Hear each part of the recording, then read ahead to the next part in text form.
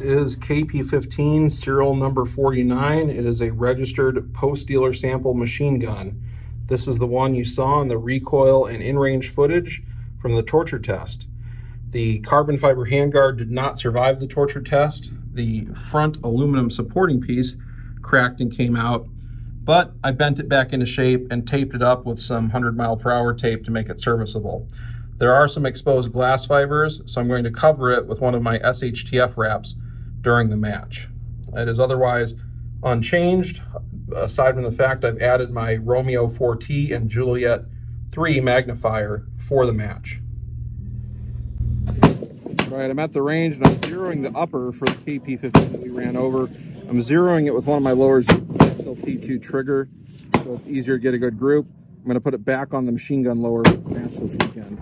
All right, getting it dialed in with the Romeo 4T and uh, Juliet 3 magnifier.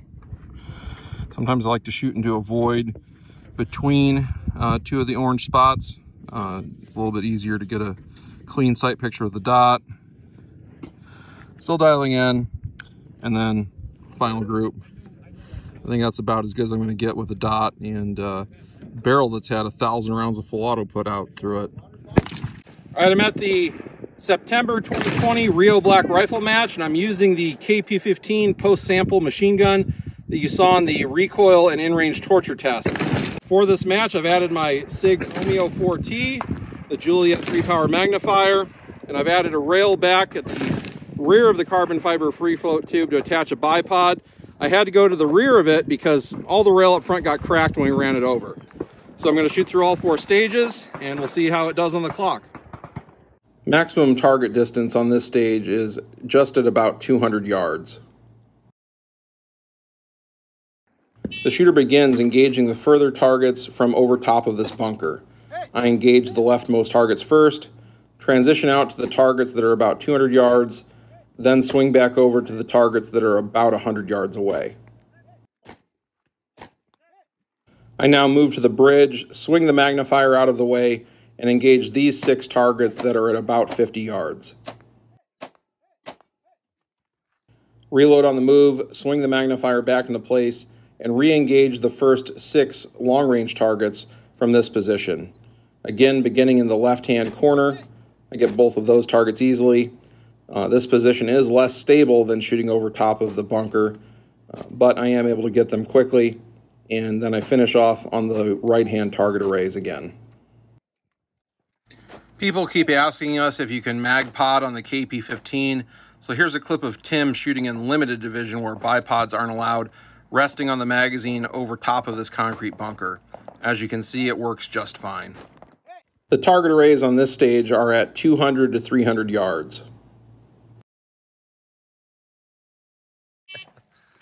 The first engagement sequence on this stage is shooting left to right over top of the barrel because I have the bipod in place, I can't clamp down on the barrel like I normally would from this position. There's more bounce and I am less stable as a result. And this is the first time that I start noticing how much worse shooting the mil-spec trigger is than the match triggers I normally shoot. Uh, you can certainly make good hits with the mil-spec trigger, but it does require more conscious effort to accomplish the same result.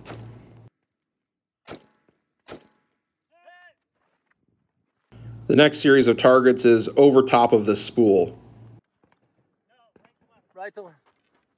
So I almost space out there and engage in the wrong sequence. From this position, the shooter has to shoot the targets right to left, engaging the furthest targets first.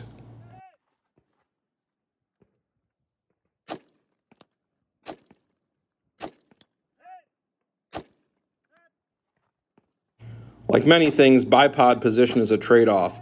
Running the bipod at the rear allows the shooter to pivot more easily target to target, but it is correspondingly less stable than having it out at the end of the forend.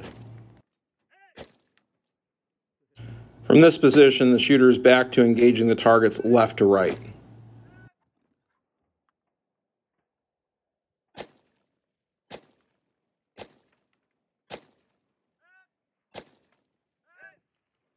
From this final position, looking through the optic, I see these targets to the left. I was supposed to be shooting at the ones to the right, the targets on the left or for another stage. All right, so that last stage, total mental screw up on my part.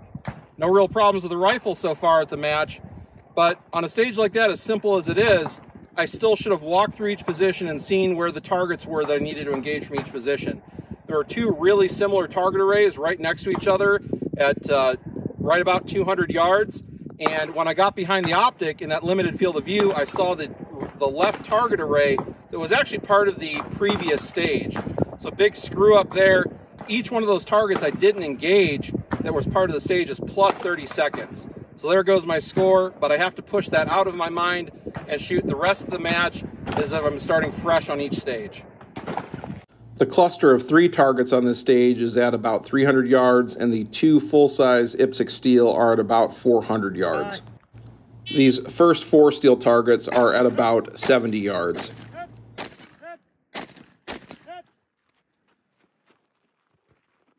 From this position, the shooter engages the three targets at 300 yards first, moving left to right, and then takes out the two targets at 400 yards.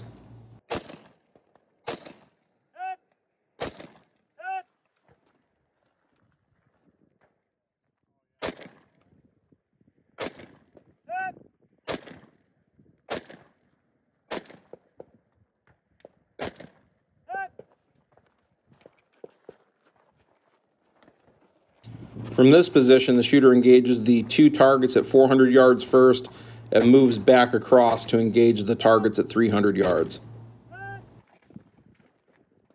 I am shooting through a little bit of brush in this position, so sometimes I have to shoot multiple rounds through a spot to clear the way for the one that actually makes the hit.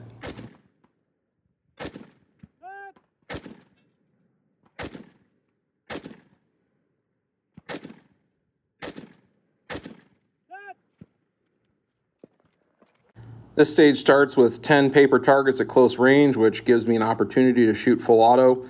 The shooter then has to move to the helicopter and engage three targets at 300 yards from two different positions.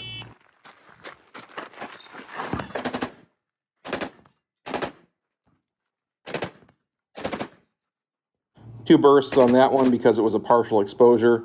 The scoring is two hits anywhere or one A zone to neutralize. I mag dump out on the last target. Let's see if I can make some hits at 300 with the barrel burning hot. You can't really see on video, but this helicopter prop is always unstable. The more you shoot, the more it bounces and shakes around.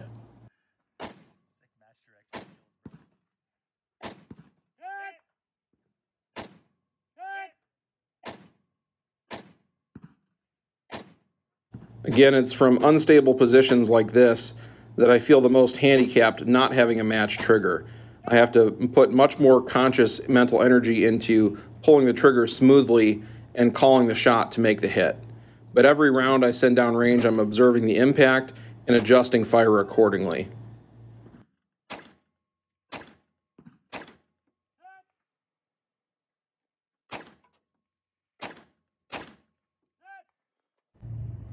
Well, that mental error on the second stage I shot cost me big. I ended up 8th out of 17 in stealth division and 17th out of 63 shooters overall.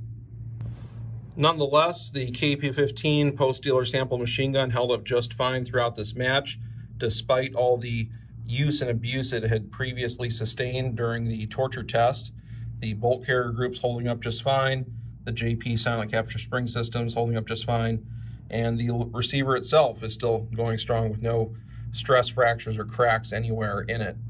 Um, shooting with a GI trigger uh, makes this match uh, significantly more difficult, and uh, that is one of the reasons why the WWSD 2020 includes the SLT1 trigger. Using a four and a half pound trigger is much easier than using a seven to eight pound trigger.